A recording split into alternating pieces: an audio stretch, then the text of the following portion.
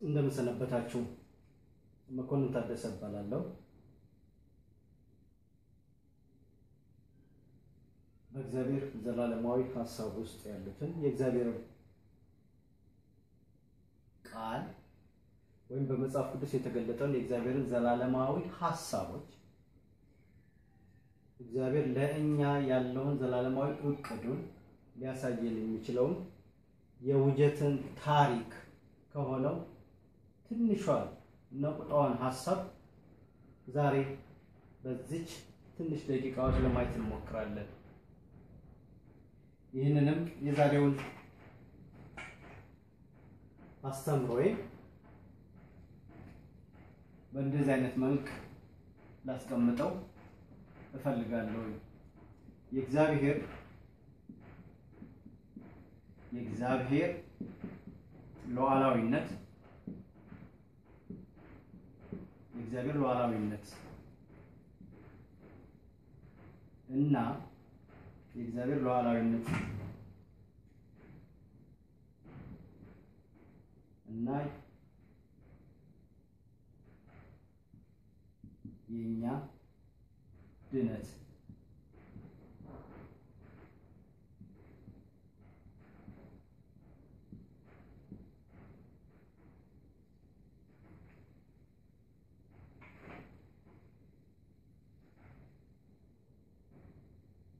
በፍጥረት ታሪክ ውስጥ በውጀት ታሪክ ውስጥ በእኛ በመዳን እና በዘላለም ሕይወት ታሪክ ውስጥ ትልቁን ስፍራ የሚይዘው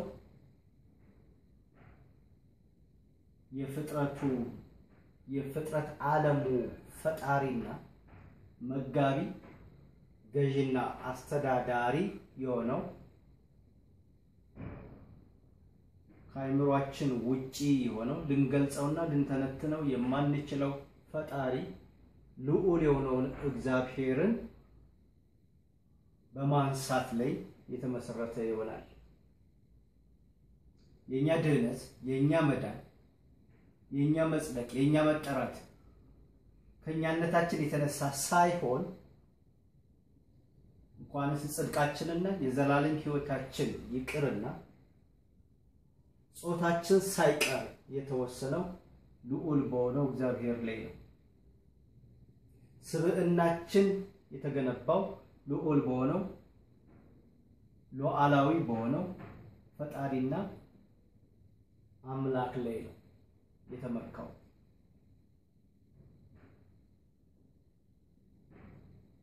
ፀሐይ፣ ጨረቃ፣ ከዋክብትን፣ ትልቁን ጋላክሲ፣ ትልቁን universe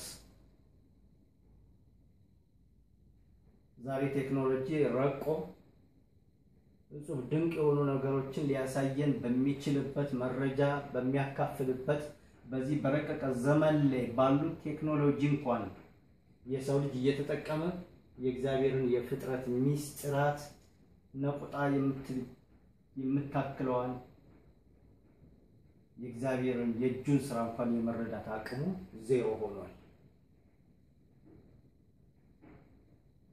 ይህ እጹብ ድንቅ የሆነው ፈጣሪያችን እኛን በአምሳሉ ፈጥሮ በኤደን ገነት ውስጥ የተሰጠንን መመሪያና ትእዛዝ አፍርሰን ከኤደን ገነት ተባረን ከሱ ተለያይተን ጀርባችንን ለሱ ፊታችንን ለዲያብሎስ ሰጥተን ከመልከ እግዚአብሔርነት ወደ መልከ ሳጥናኤልነት ከተለወጥንበት ጊዜ ጀምሮ የሰው ልጅ ዕጣ ፋንታው ጥፋቱ ነው ቀርቷል።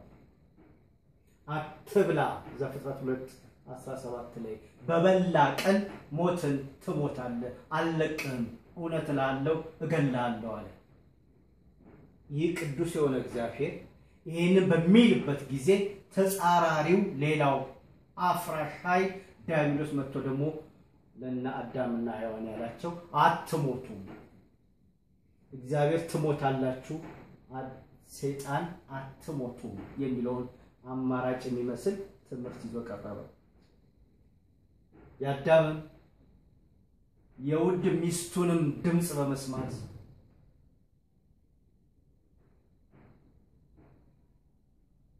ከታዘዙት ፍሬ እንዳይበሉ ከተከለከሉት ክፉና ደጉን የሚያሳውቀውን ዛፍ በሰይጣን አታላይነት በመብላት ከእግዚአብሔር ጋር ለዘላለም ተለያዩ፣ ሞትንም ሞቱ በበሉ ቀን። አንዳንድ የሥነ መለኮት መምህራኖች፣ መጋቢዎች ይሄንን የመነሻ የእግዚአብሔርን የዘላለም አጀንዳ የውጀት ታሪክ ማዕከል አድርጎ የሚያጠነጥነውንና የሚጎነጉነውን የውጀት የመነሻ ሐሳብ እንደ ቀላል ነገር ይስቱታል። እንደ ዋዛ ፈዛዛ ይተውታል። ከዚህም የተነሳ በክርስቶስ የውጀቱ ስራ ላይ ሰዎች እጃቸውን አስገብተው እንዲረባረቡበት አድርገዋል።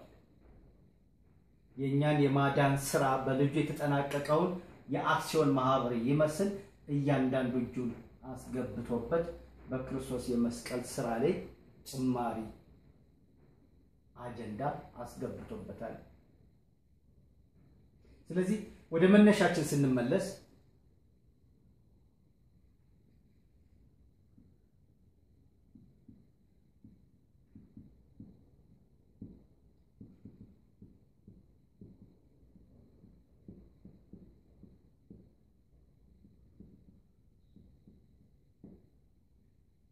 protology ላይ the study of beginning የመነሻ አስተምህሯችን ላይ መጠንቀቅ ይኖርብናል። ስለ salvation፣ ስለ ጽድቅ፣ ስለ መዳን ስንነሳ protology ያችን ላይ በምንነሳበት ጊዜ ዘፍጥረት ሁለትን መርሳት የለብንም። አትብላ፣ በበላ ቀን ሞትን ትሞታለህ። የሞት ግንዛቤን እስካልተረዳን ድረስ የድህነታችን የውጀቱን ታሪክ የክርስቶስን የመስቀል ስራ ታሪክ የትንሣኤውን ኃይል የመረዳት አቅማችን የደበዘዘ የሳሳ ይሆናል። አትብላ በበላ ቀን ትሞታለህ።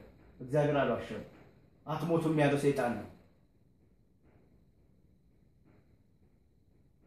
ሞትን ሞተዋል። እግዚአብሔር ትሞታላችሁ ያለው አካላዊ ሞትን አልነበረም፣ ሊሆንም አይችልም።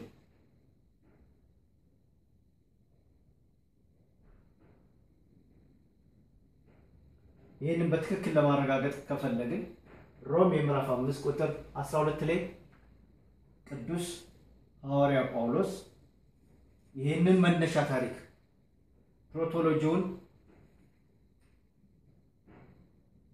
ምንጭ በመጠቀም እንደዚህ ያለ፣ ስለዚህ ምክንያት ኃጢአት በአንድ ሰው ወደ ዓለም ገባ፣ በኃጢአትም ሞት፣ እንደዚሁም ሁሉ ኃጢአትን ስላደረጉ ሞት ለሰው ሁሉ ደረሰ።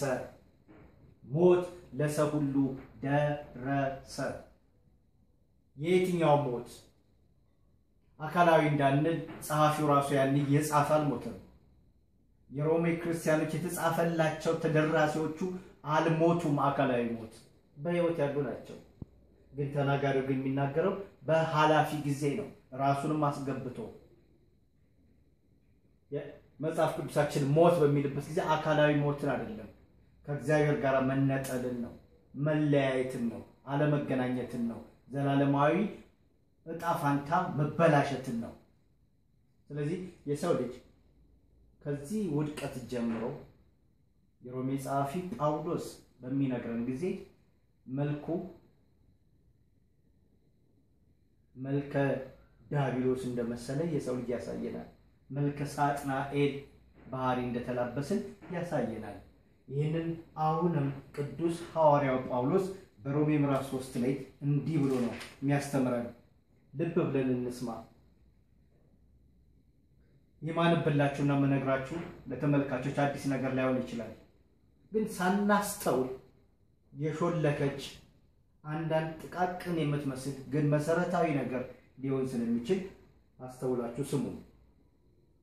ጻድቅ የለም ሮሜ 3:11 አንድስ እንኳን አስተዋይ የለም፣ እግዚአብሔርን የሚፈልግ የለም። ሁሉ ተሳስተዋል፣ በአንድነትም የማይጠቅሙ ሆነዋል። ቸርነት የሚያደርግ የለም፣ አንድስ እንኳን የለም። ጉሮሯቸው እንደተከፈተ መቃብር ነው፣ በመላሳቸው ሸንግለዋል። የእባብ መርዝ ከከንፈሮቻቸው በታች አለ፣ አፋቸው እርግማንና መራርነት ሞልቶበታል። እግሮቻቸው ደምን ለማፍሰስ ፈጣኖች ናቸው። ጥፋትና ጉስቁልና በመንገዳቸው ይገኛል። የሰላምን መንገድ አያውቁም። በዓይኖቻቸው ፊት እግዚአብሔርን መፍራት የለም። በዓይኖቻቸው ፊት እግዚአብሔርን መፍራት የለም። ከውድቀት በኋላ የሰው ልጅ ከኤደን ገነት ከተባረረ በኋላ መልኩ፣ ጠረኑ፣ ምስሉ ዲያብሎሳዊ ሆኗል። ሳጥናኤላዊ ሆኗል። ለዚህ ነው የአዲስ ኪዳን ጸሐፊ ሐዋርያ ጳውሎስ ሁለተኛ ቆሮንቶስ ምዕራፍ 5 ቁጥር 17 ላይ ማንም ማንም በክርስቶስ ቢሆን አዲስ ፍጥረት ነው። ማንም በክርስቶስ ባይሆን ግን አዲስ ፍጥረት አይሆንም። ፍጥረቱ ተክለ ሰውነቱ፣ ጠረኑ መልከ ዲያብሎስ፣ ጠረኑ መልከ ዲያብሎስ መሆኑ አይቀሬ ነው። አሁን እንደተነበበው ጻድቅ የለም አንድስ እንኳን፣ አስተዋይ የለም አንድስ እንኳን። ጉሮሯቸው እንደተከፈተ መቃብር ነው። አንደበቶቻቸው የእባብ መርዝ ሞልቶበታል። የሰላምን መንገድ አያውቁም። በዓይኖቻቸው ፊት እግዚአብሔርን መፍራት የለም። የሰላምን መንገድ አያውቁም። ለፍጥረታዊ ሰው አንደኛ ቆሮንቶስ ሁለት አስራ አራት እና አስራ አምስት ላይ ለፍጥረታዊ ሰው የእግዚአብሔር መንፈስ ነገር ሞኝነት ነው። ለፍጥረታዊ ሰው በአዳም ለወደቀው በአዳም ለሞተው ከእግዚአብሔር ለተለየው ሰው የእግዚአብሔር መንፈስ ነገር ሞኝነት ነው። በመንፈስም የሚመረመር ስለሆነ ሊያውቀው ሊቀበለው አይችልም። ስለዚህ ጌታችን ኢየሱስ ክርስቶስ ያደረገልን ታሪክ በኃጢአት መጥፋት ብቻ አይደለም፣ በኃጢአት መበከል ብቻ አይደለም፣ የባህሪ መበላሸት ብቻ አይደለም። አደጋው አደጋው ዘላለማዊ ሞት በእኛ ላይ መዘራቱና መታጨዱ ነው። ልጁ የሌለው የእግዚአብሔር ቁጣ ለዘላለም በእርሱ ላይ ይኖራል እንጂ ሕይወትን አያይም ያለው ዘላለማዊ ጥፋት ይጠብቀናል።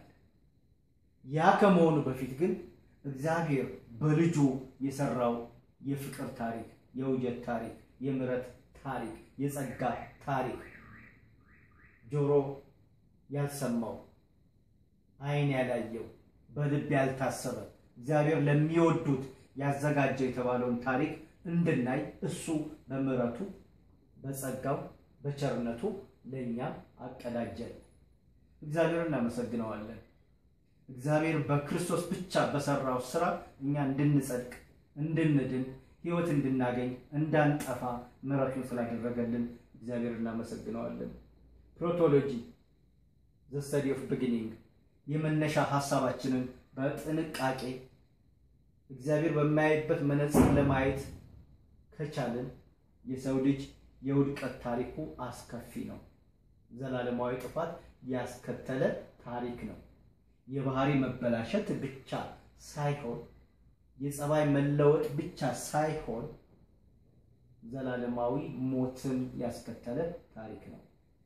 ስለዚህ የኃጢአት አስከፊ ገጽታው የእኛን ባህሪ አቆሽሾት መሄድ ብቻ ሳይሆን የእኛን እጣ ፋንታ ደምስሶ አጥፍቶ ከእግዚአብሔር ጋር ለዘላለም እንዳንኖር አድርጎ ትቶን ሄደው። ስለዚህ ሐዋርያው ጳውሎስ በሮሜ ምዕራፍ አምስት ላይ በአንደኛ ቆሮንቶስ 15 ላይ